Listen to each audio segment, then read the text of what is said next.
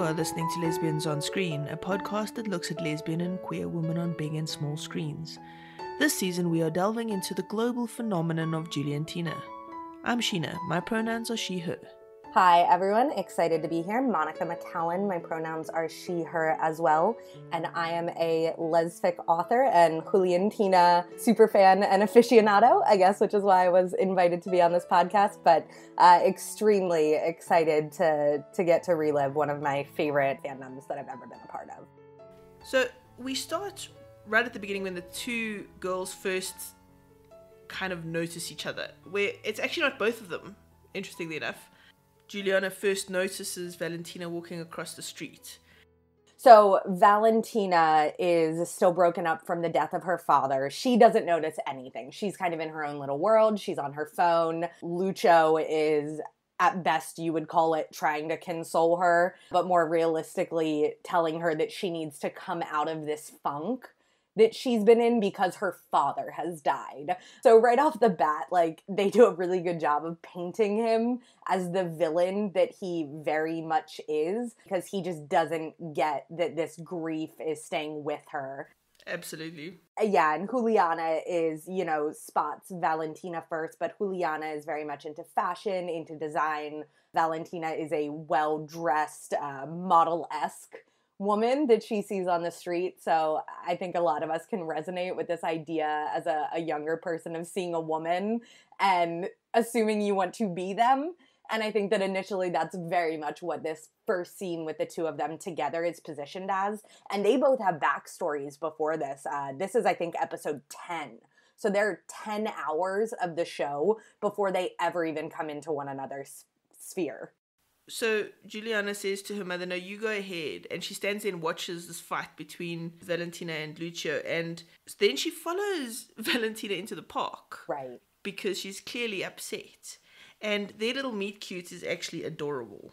Oh, I love it. I mean, and it's so I don't know if you've ever watched their scenes before they meet one another um, but it, they're very good to lay the groundwork for the types of people that they actually are. And this is not really in Juliana's nature.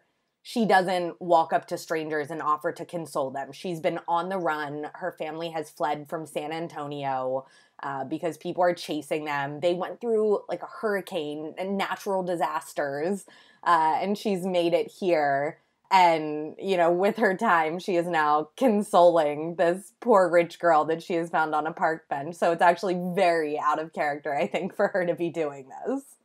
But because of that you get that immediate sense that they were being pushed together that there was this immediate attraction this feeling that they couldn't not be together. Soulmates. That's what there's a word for that sheena. Soulmates.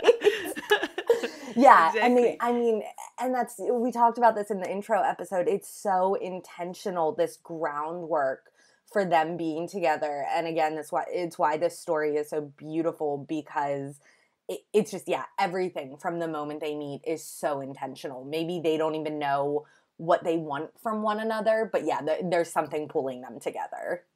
It's so interesting because even in this first encounter they go on and sort of shows some of the problems that's going to come up in this relationship. Money being one of the big ones. Mm-hmm. Valentina's got a lot of it. Juliana has nothing. And Juliana does not want to be the kept woman in this relationship, quite avidly.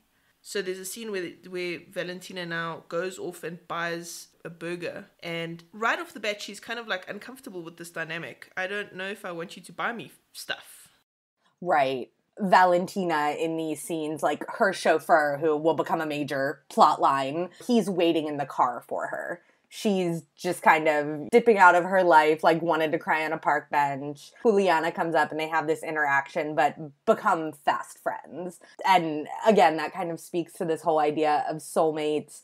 They are both having terrible times in their lives, going through really devastating things, and Valentina's boyfriend doesn't understand her, and Juliana's in this new place. She doesn't know a single person, and they find each other. And it's like this instant, uh, at first, friendship, but uh, you know it, it's instant they they like each other from the very beginning and sometimes you just have people like that who you have instant chemistry with it might not be romantic chemistry always but there is there's definitely like that push and pull with certain people yeah and the actors have it as well I think that this is, we'll get into this more when we get to the more, like, I think emotionally intense scenes. But even from the very beginning, eh, they're not two people playing their own parts. They're a duo going through this scene together. And they read one another very well and feed off one another very well. And after the fact, it came out that Macarena Achaga, she doesn't necessarily love to follow the script, yes. uh, especially when it's a scene that she thinks should be pushed further. So she does that in some scenes, and Barbara Lopez always followed that and went as hard, if not harder, than she did in that. And it really just made it, it was already going to be good, but I think it made it even better. Well, the two of them actually came up with the hashtag Juliantina before it started airing so that they could already push that and capture that market. And then they were already all over social media with photos and, and Instagram videos of them as the Juliantina couple. So it's very deliberate from both the actresses' sides from the beginning. Yeah, no, definitely. And I think, you know, so we're at the scene where they're having a meal together and everything was going well. They were grabbing a burger, that little stand, and Valentina just kind of runs off and Juliana is confused. And I think you can correct me, but Valentina looks in her purse and kind of sees the flask that she's been carrying around.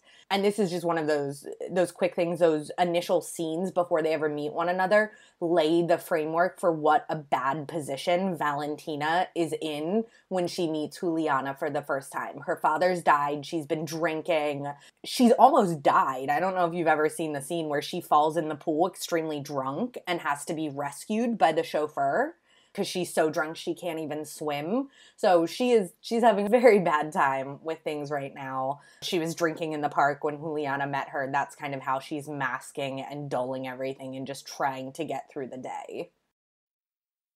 And so seeing that flask then must be kind of like a reminder to her of how what a bad place she's in, but also she's kind of enjoying herself with this girl and that conflict when you're in a mourning space is actually not easy to deal with.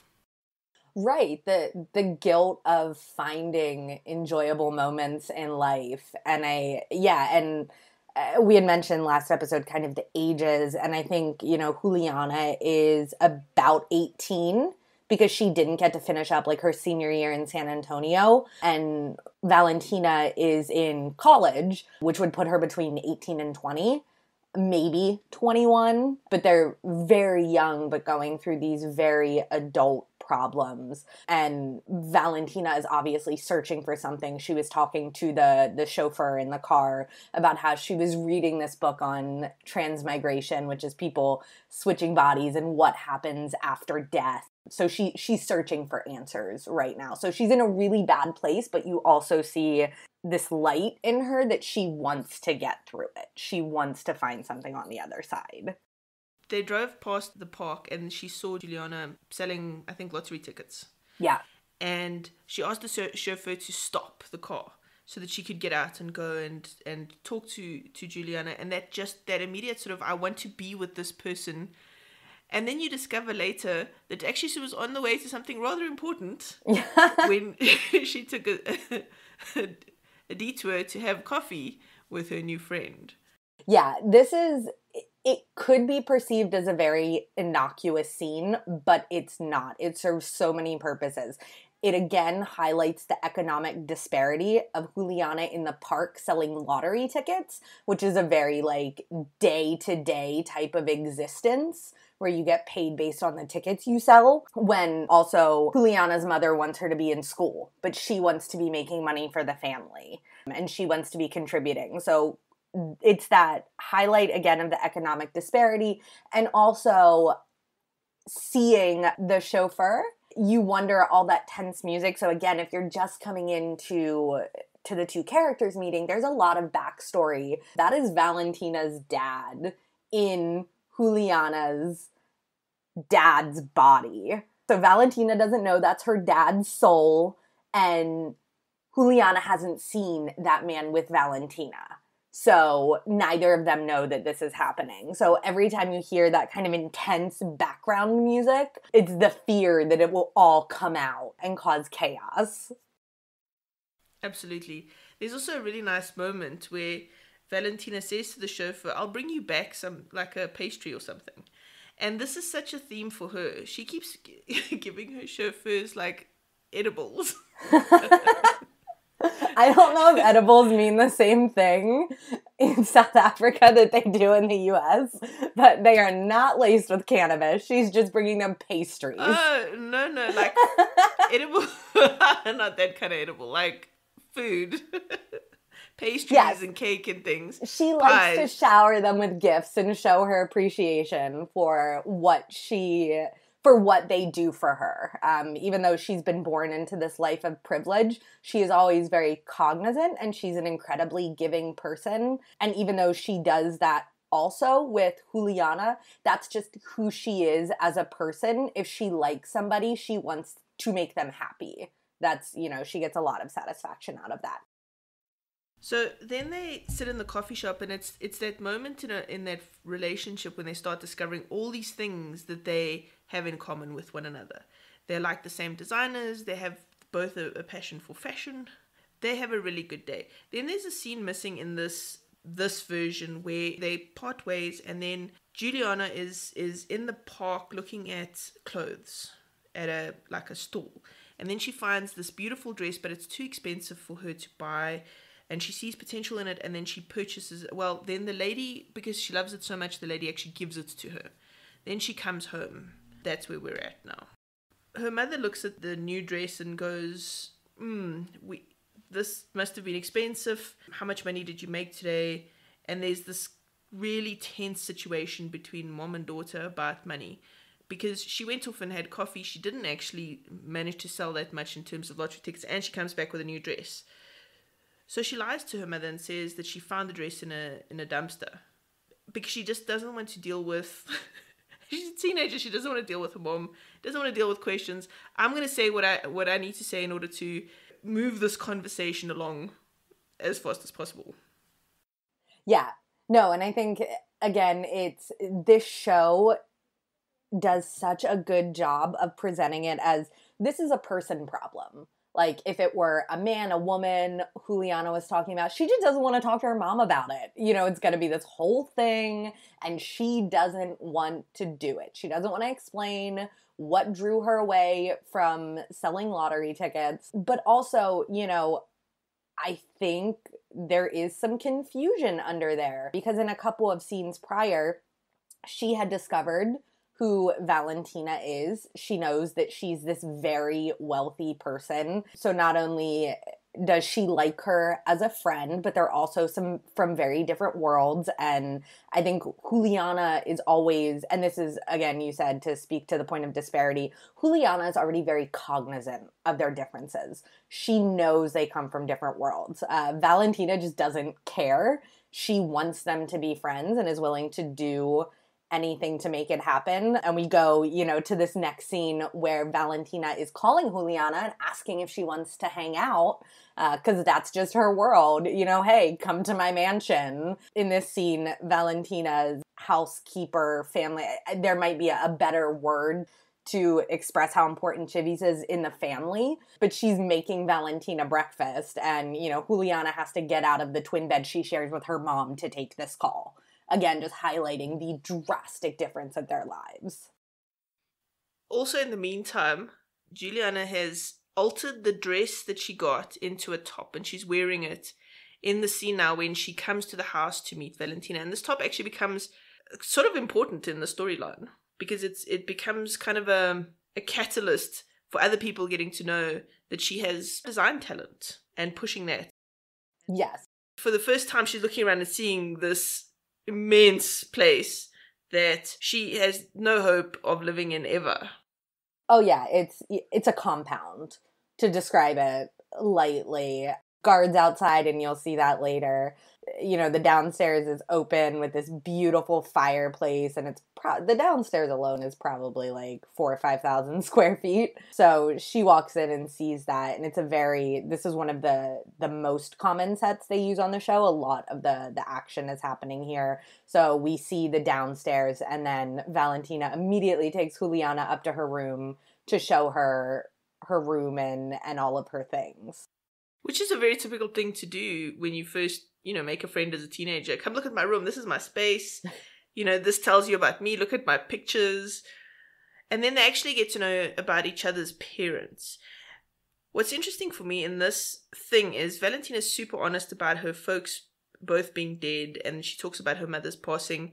And juliana lies to her ultimately in telling her what happened to her father. Yeah we've met Juliana just for a little while and, and she's told two lies to important people already. And it's all with this whole thing of like, I actually don't want to get into this conversation. I'm going to try and avoid it. Yeah, no, I definitely think that it's a way for her to protect herself. She's never intentionally trying to hurt people by doing these things. She's trying to protect them and protect herself. And the idea of telling this new friend that she's met kind of everything going on with her family right now. And also, it's just, it's an insane story. Her dad was electrocuted and then came back to life and said he was somebody else, and then they got caught in a natural disaster and fled. Like, that's, I would not. I'm a very honest person, kind of to the point of fault. I love telling people things. Um, and, you know, even I might rein that in or present it in a different way. So I think that is very, very fair. It also shows that how they've grown up so differently. Valentina's never had to be that protective of herself. And she pushes. She's she's quite she's often the person initiating and instigating and pushing for, for things to move where she wants them to go. Whereas Juliana is very much like the the whoa, whoa, like she protects herself a lot more than Valentina does. Yeah.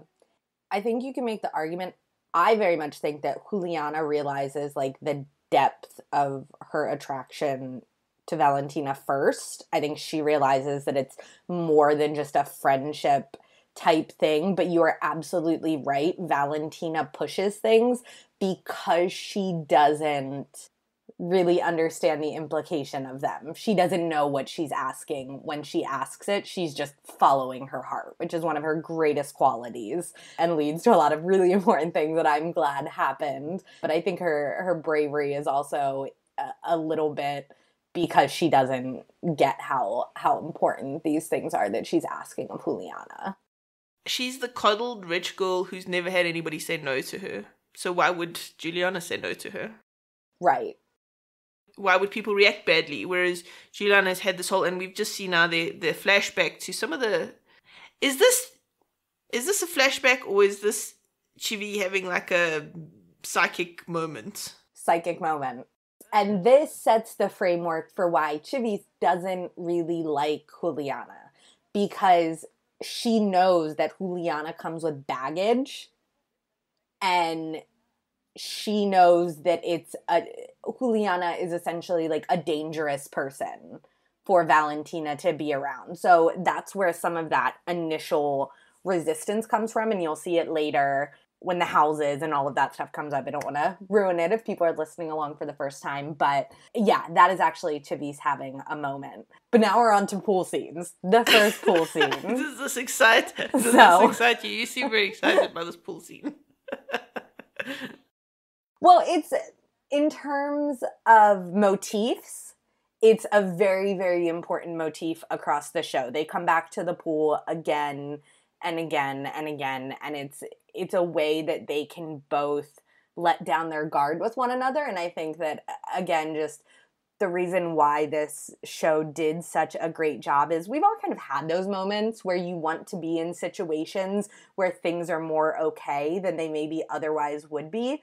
So holding your friend the way they were holding one another in a pool right now, that's not that doesn't come up organically a lot in life. That's true. but being in a pool swimming together like you know valentina was holding her and it was completely normal because of the context of what they were doing so i think that they were both just able to get lost in the moment a little bit but you can talk about the next part because i don't want to talk about it Thank you for being an awesome listener and supporting Tilt, the channel that brings you all the podcasts you want to hear. You're listening to Tilt. Find more podcasts on thelesbiantalkshow.com.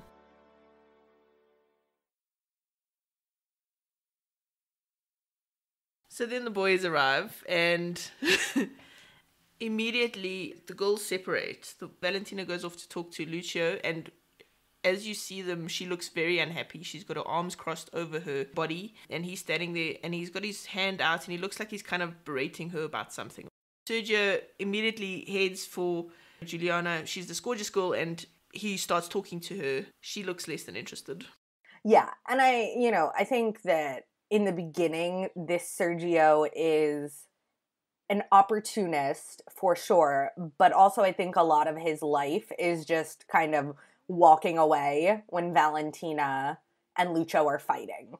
I think that's second nature to him. He would have gone over and sat on those chairs, whether Juliana was there or not. It's just a great bonus. And the fact that there's a pretty girl there. He's gonna chat her up. I'll say this once I really struggle because love Lucio's fashion sense, hate Lucio, but the boots and like the tighter jeans and the button down, like that is my aesthetic right there. And I just wish it was anybody else on the show wearing it.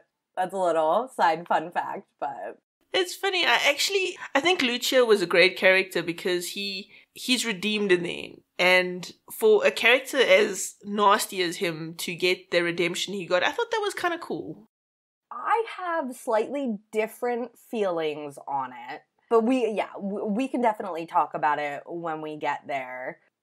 But all that led up to the redemption, I think I don't know if it made it worth it for me. But now they they've sent the boys away because Valentina's mad again. She and Lucio are always fighting. That is the hallmark of their relationship. Uh, Sergio's going to bring it up to Juliana. Like, that's what they do. They fight and they break up and they get back together. But they go to Valentina's room, and Valentina gives Juliana a necklace.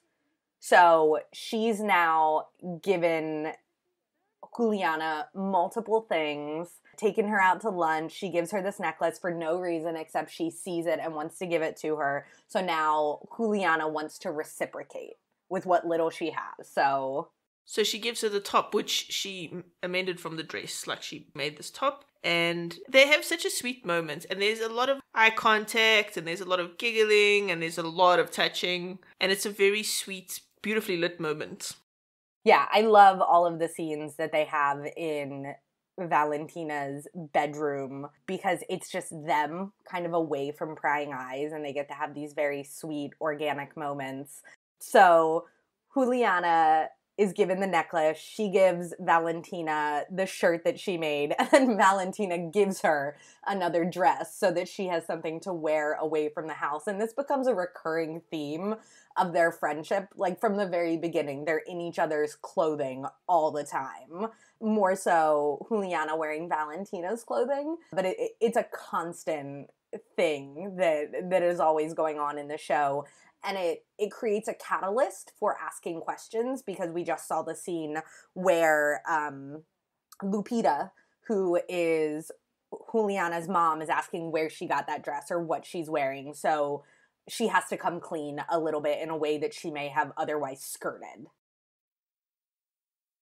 And uh, Lupita, you can see, is starting to get a little like concerned. What is this this other girl up to? So she actually says, "Invite your friend over. Want to meet her." Absolutely. And then on the television scene, it was a, a very quick scene, but this leads to Juliana calling uh, that she saw on the news that it's going to get very complicated with people, but that Valentina's stepmom has been kidnapped.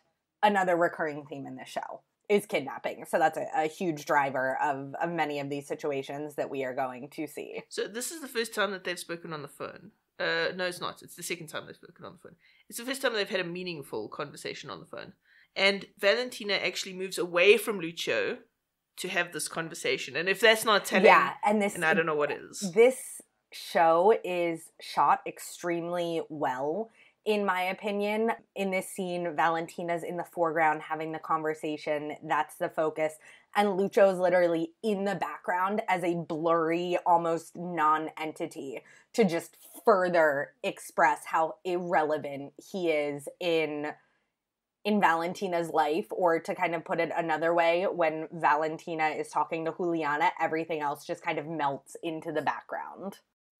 And then he actually expresses, you know, I'm here for you if you need anything. And she just wants him to go away. she keeps right. trying to pull away from him. And he's trying to actually be really sweet about the whole thing. And she's just not interested. And then later that night, she's she can't sleep. And so she picks up her phone and she's gonna phone Lucio. She t- puts Lucio's name into her phone, to, and then she changes her mind and decides, actually, I've got somebody else I'd like to talk to. Yeah. And I think uh, this is the first time where she has chosen one over the other. And while there is nothing romantic in their, you know, because it's just a friendship at this point, they are very much for the viewers. And, you know, remember, this is primarily a Latin American Mexican audience watching this show. Uh, there's not a lot of LGBTQ visibility. So they are very much setting up Juliana as this foil. Uh, you know, if, if she was another gender and Valentina called her instead, everybody would be like, oh, this is on, love triangle. So they are doing it without being pushy about it, but they are they're laying the groundwork so well for the evolution of their relationship in my opinion, and that it has always been more than just platonic because when confronted with calling your partner or your best friend at the time, you can't see my air quotes because this is a podcast, um, that you know, she is very clearly making a choice.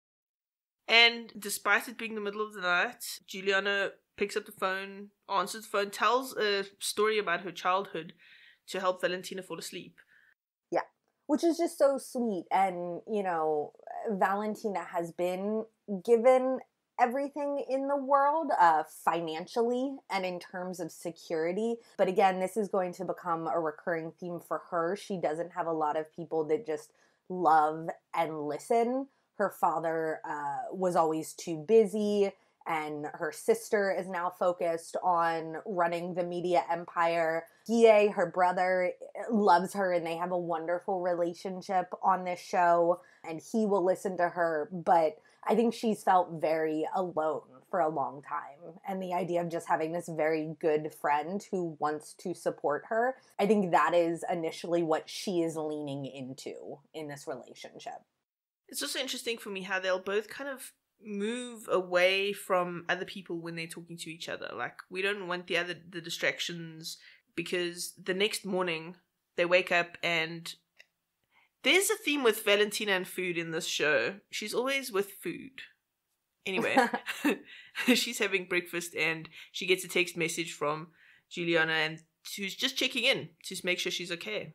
Yeah, and I think, you know, very much I think it could just be because that's a room she hangs out in a lot and they talk in the morning. You can say, you know, it's the first thing they both want to do with their day, but again, it's it's such an opposition, you know, that Valentina is in a kitchen filled with food, eating breakfast. They have these lavish breakfasts when the family's over and you know juliana isn't really doing that. They may have like a sit down dinner or something like that but again it just it highlights this difference in their lives. Oh completely because juliana is standing in like a alleyway or something. Yeah out into the hallway of their of the room she shares with her mother.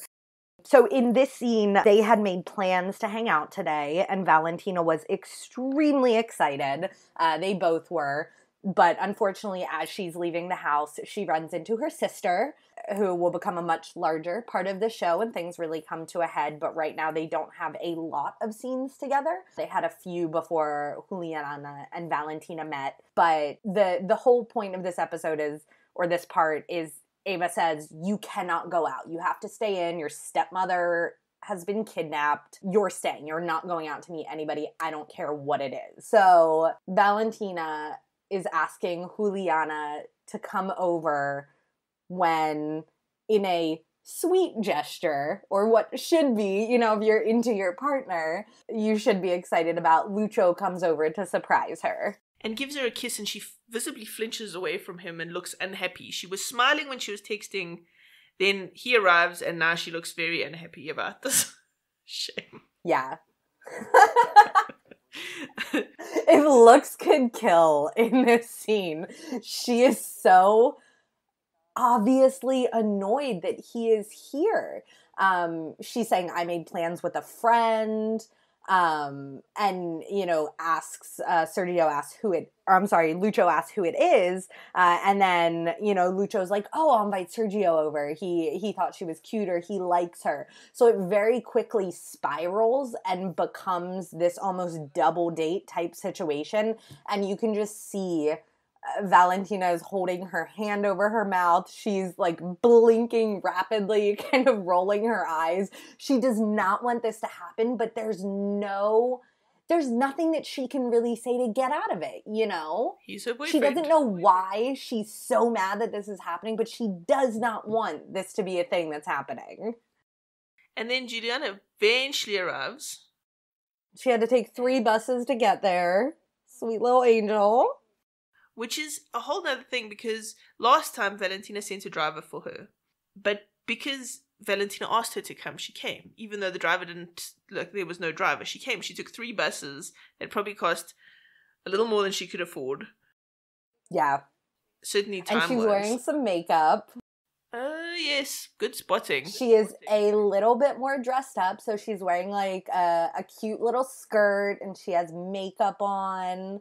And obviously, the the boys probably think that she knew that you know they were going to be there, and maybe that's why. And again, it's just this idea that whenever the four of them are together, they are expected to partner off. Even though Valentina and Juliana are the friends, you know, Sergio immediately is like, hey, do you want to come to the kitchen with me? And we're going to do this thing together and we're going to leave Valentina and Lucho alone. And that's kind of a recurring theme. And I think that Valentina specifically did not tell Juliana that they were coming. And this was the thing because she was worried on some level that she wouldn't come. And I think, you know, Valentina did her a little dirty on taking that choice away from her. Um, but Bates would be nothing if not a little struggle to get them where they are. And she just really wanted Juliana to come over. And they end up making this weird butter, peanut butter sort of mixture thing that they pour over this popcorn, her and Sergio. And I'm just like, this looks hideous. Yeah, I mean, the the best person in this scene is Chivis being like, "Do not mess up my kitchen," because they're idiot teenagers with popcorn, butter, and peanut butter, which is like the messiest thing in the world, you know. And I think Juliana knows how to clean up after herself, given the life she's had. Uh, but Sergio, yeah, he just kind of expects to come in, and he's they've all been friends since they were kids so he just comes in and use the kit uses the kitchen and leaves the dishes and leaves. Yeah, she was giving them a, a serious side eye, which was hilarious.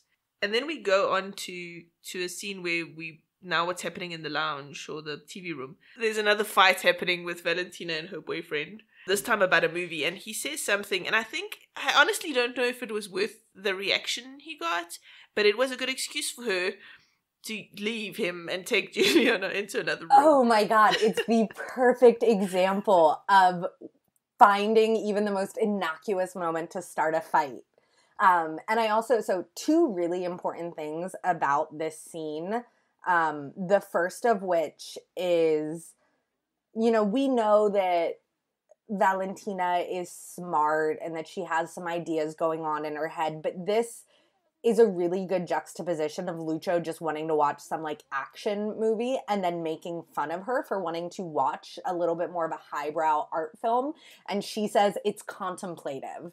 And I don't think that you would really expect this from the girl in the next scene who's taking tequila shots. that is really what she wants. She's very cerebral. She thinks about a lot. She even though she loves openly and unabashedly, there there's a lot going on in her mind that she's trying to work through right now and Lucho I think would just prefer for her to just be a pretty partner for him to trot out like a, a show pony really. And that you know among all of many of their problems is just another really big one. So she sees the chance to get out of the situation and she takes it and whisks juliana away back to the safety of her bedroom under this guise of a fight leaving the two guys in the living room together to watch whatever movie they want and if she was truly unhappy i mean she looked very happy by the time they got to the bedroom yep takes a couple of vodka shots, which is a recurring theme and will become important, or I'm sorry, tequila shots,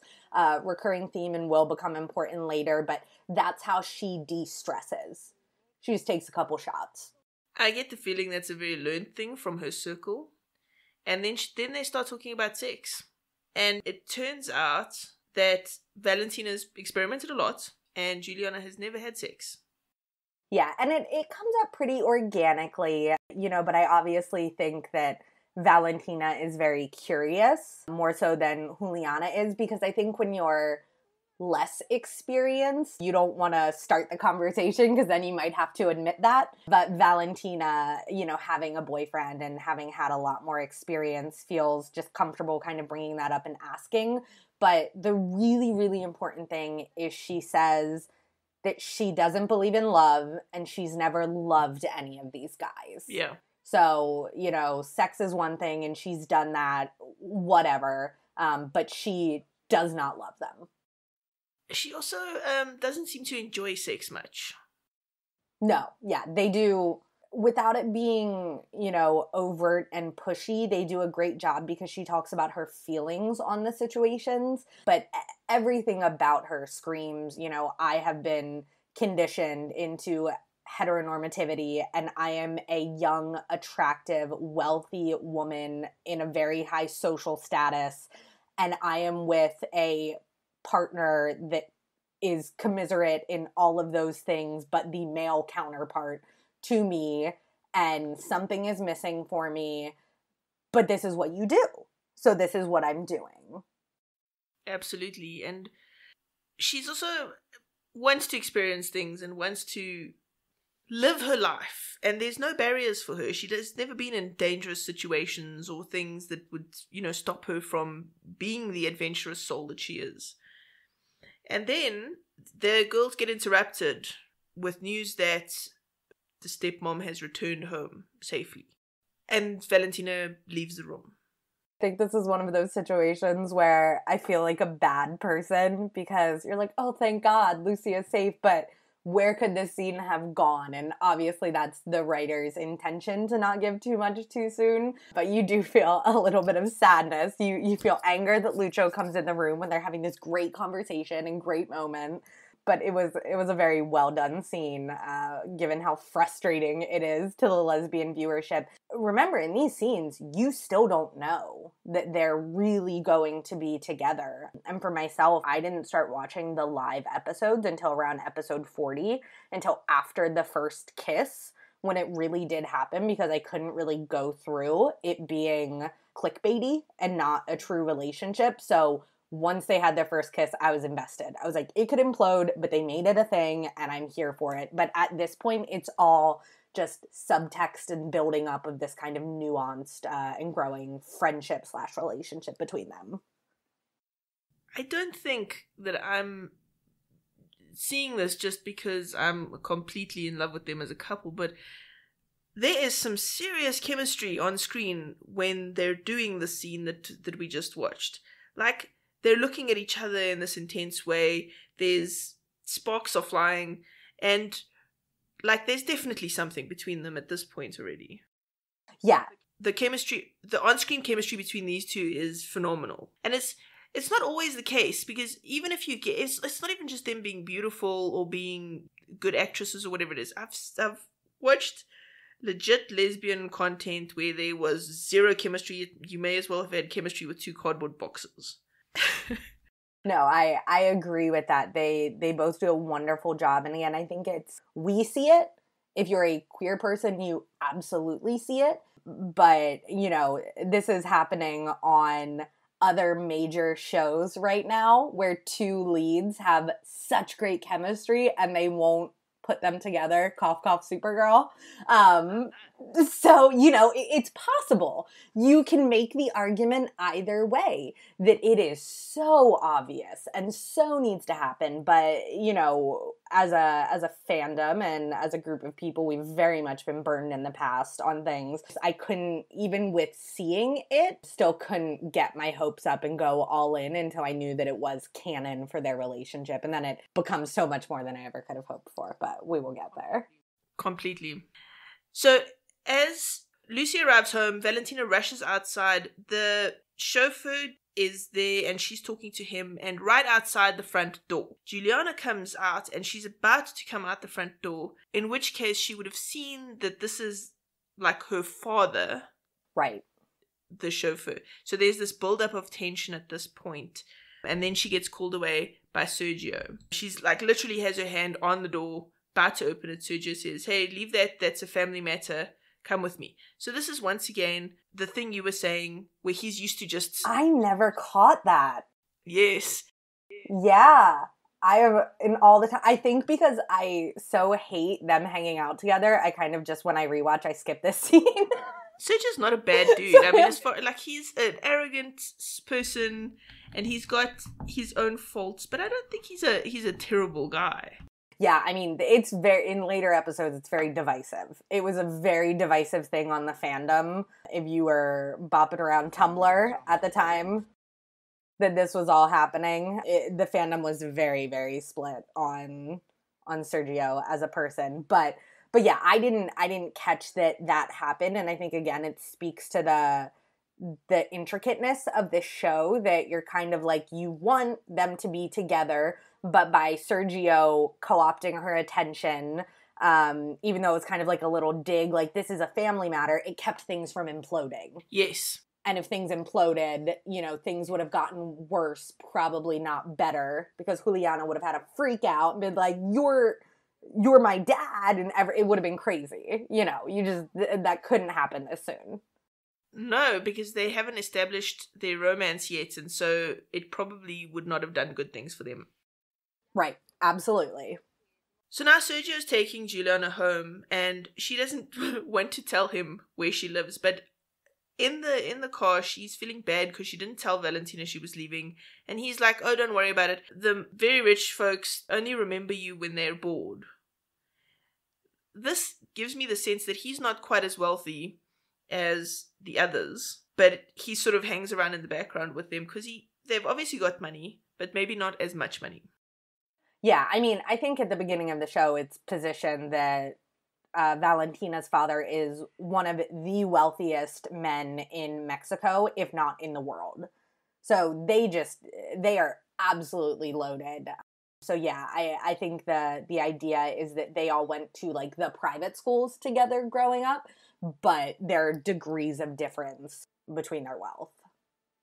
And I think he's trying to subtly undermine Juliana's friendship. And that's, the, you know, it's not overt. And you can also make the argument that it's even worse because of that.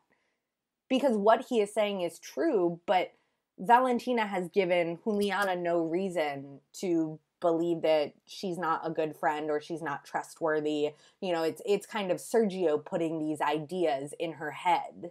Even though she's thinking them already, he's doubling down on that.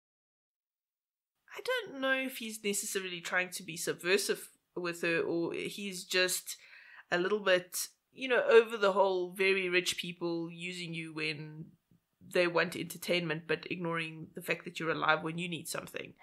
I, I think it might just be his own jaded perspective of the matter. I don't think he's necessarily trying to undermine anything with Valentina. He doesn't seem to be upset that Juliana and Valentina are friends. I think Lucho is much more upset about that. Sergio seems fine. Sergio's always trying to like hang out with Juliana. I just I think he's kind of always looking for an angle and while what he says may be true, I don't think he's saying that eh, deep down to be helpful to her. So interesting cuz I don't necessarily agree with you, but okay. yeah. No, and yeah, I don't think we should spend our time debating Sergio when there are so many other more important things going on. But I do give a, a, lot of credit to the fact that he's only a peripheral character in this whole show. And I care that much about him, whether it's love or hate. I think it's just a, a, a testament to how well rounded all of these characters are. Absolutely. Now we see a little bit later in the day, and Juliana is very upset and she gets a phone call. And it's Valentina phoning saying, Hey, where did you go? And I think that this is a big moment because Juliana was feeling a little bit down on herself after, you know, Sergio's comments and just kind of leaving. And I last thing I'll say about it, he did it twice. He said it at the house. He said, This is a family matter, very clearly saying, like, you're not family. And then he said, This is what rich people do. So he's already kind of he's trying to like chip away at the foundation that they built. So she's obviously upset by it. Whether she knows why she's upset, because nothing he said was untrue. Um, she's upset by it, but it's really sweet because Valentina, even in the midst of everything that's going on, takes the time to call her and wants to know why she left because her presence was missed. Another important thing that happens during this conversation is Valentina asks if Juliana likes Sergio in that way, and Juliana draws the line and says absolutely not. And um, rather than trying to push that, or or even uh, succumbing to Sergio asking for Juliana's number later, Valentina's pretty much like, okay, cool, I hear you, I'm listening. Here's another pastry moment. Yeah. so Valentina comes outside after the phone call because she wants something. Yeah. She asks the other chauffeur if he remembers where Alirio. That's right. He's such a sweetheart, Shem, where he picked up Juliana previously. And so she offers him, what is this? Uh, I think it's um, apple cake. or something like that. Yeah. And here's he would do it. So that's the thing. This is just another facet of Valentina's personality. Like it is his job to drive the family safely where they need to go. He would obviously do it, but she wants it to be more of like a reciprocal thing. You know, she wants him to want to do it and she's kind of buttering him up like she's a little kid trying to get away with something, even though that's absolutely not the case. and then she arrives we uh, at Juliana's place with a big cake, a whole pie. pie thing, a big apple pie. God, they're so cute. And Juliana's so surprised she's just she's so surprised that she's there. It's just the sweetest. It is, and the message is just like your problems are also important to me. You know? And it's just so cute. And they they had a really good laugh about the differences in their lives right there because Juliana says, "Did you come on your own?" and Valentina says, "Yes." And then she says, "With a driver and a bodyguard." And they laugh about it because they've kind of, you know, it it means a lot that Valentina is there, I think, to Juliana. And that is she's just she's a little bit more starting to accept the realities of their lives. And she went from a very low point today on their friendship because of what other people, and this is gonna be a recurring theme, other people telling her that she's not good enough to be in Valentina's life to how she feels when Valentina shows up and tells and shows her that that is absolutely not true. And then there's this uh, woman who owns this place, the the apartment. Yeah, they rent they rent a room from her. And I think she's a little bit of a side character thrown in for comedic effect. I don't think that she, in any of the episodes I saw, she didn't have her own plot, any of the full episodes. But she's, you know, she knows who Valentina is. And this is the first time they're kind of confronted with Valentina's celebrity in the midst of their normal lives. And what's lovely for me is this is also the first time that Juliana's mother is meeting Valentina. Mm-hmm. And she actually sticks up to this other crazy woman and says, Listen, can you just not? Because she's talking about like Valentina's dad's death and how she had a migraine and therefore she's so connected to the family and she's just making a real pain of herself. Yeah.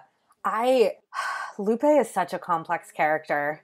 I still have not fully decided how I feel about her because her like whole plot is she falls in love with a man who she knew previously who's married and he basically just like leaves her kids and goes and starts being with Lupe and stuff. So she's already not leading quote unquote like the best life. Um and sometimes she can be supportive and one sometimes she can be really judgmental and she's very complex, a little bit all over the place with how she reacts to things. I kind of like that about her though because I, it feels more real to me. Oh yeah, yeah, absolutely. Because people are not super simple about how they react to big things, you know. Yep. But then they having the the initial meeting and it comes out that she didn't actually tell Valentina the truth about her father. Mm-hmm. And there's a big fight then between Lupe and Juliana. And I think that's where we'll end today's episode because then we hit the university and that kind of thing. Is there more you want to say about this initial bit? I mean, there's always more I can say, but I think it will come out organically uh, as we're continuing to watch the episodes. So that was the first hour of Juliantina. So we got to see their meet cute. We got to see some of the background influences happening. I see what you mean about Sergio. I'll see as we go if I agree with you or not. uh, Lupe met Valentina for the first time. These are very important moments in the plot because these are very influential things for the the characters down the line. Yeah, and they are laying a very important framework for what's to come and I think it's a lot easier. And, you know, as a writer, this is something you always try and do. You want to make all of your characters as interconnected as possible so that they can have conversations about each other. Uh, and that it's a little bit stickier if something goes wrong to just like extricate yourself. You know, you can't, you can't ghost out of a situation kind of if everybody knows one another and it's more complicated. So they're doing a really good job of connecting all of the characters to one another. And I, you know, I do think at this point it would still be easy for uh, Juliana to just kind of fall out of everything because Valentina is her really strong tether. But it's very clear in all of this already that Valentina, for whatever reason, wants Juliana in her life and is doing everything she can to show her that, to make her a part of it, to ingrain her in her world as much as she possibly can.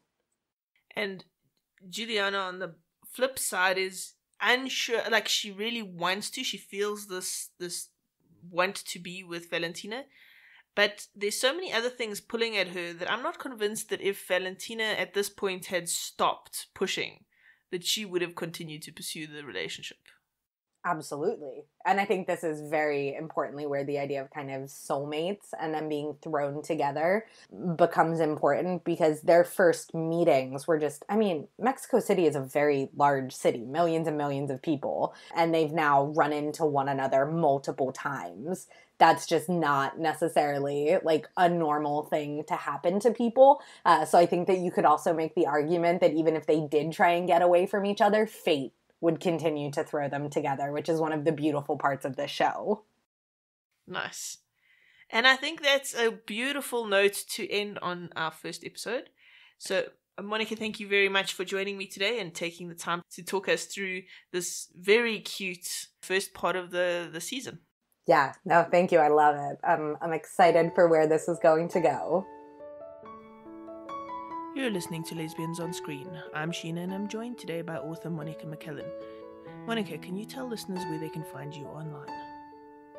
Very socially active online. Uh, just depends on what channel. Uh, so, Twitter is my jam if you want to communicate with me and have the best probability that I will communicate back. So it's at Monica McCallan, and that's on Twitter. I do have a Facebook fan page and I have a website, www.monicamccallan.com. But for sure, if you're looking to hang out and engage and chat about stuff, Twitter is where you can find me. Thank you for listening to Lesbians on Screen, a podcast that delves into the world of queer women on big and small screens. Join us next week as we continue discussing the global phenomenon that is Juliantina. If you love this podcast, then rate us 5 stars on Apple Podcasts and help other fans find us.